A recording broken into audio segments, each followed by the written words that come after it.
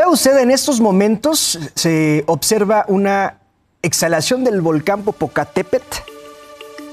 Esa imagen en vivo, vea usted, se trata de vapor de agua, gases y cenizas.